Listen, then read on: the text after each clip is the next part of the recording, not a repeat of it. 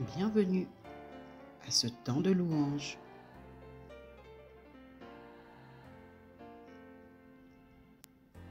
Que nous inspire 1 Jean 4, 19. Pour nous, nous l'aimons parce qu'il nous a aimés le premier.